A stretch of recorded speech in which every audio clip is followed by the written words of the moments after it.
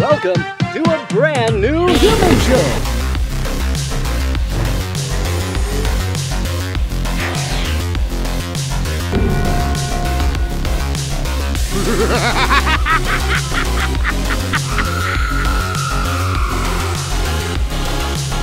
The Outsiders.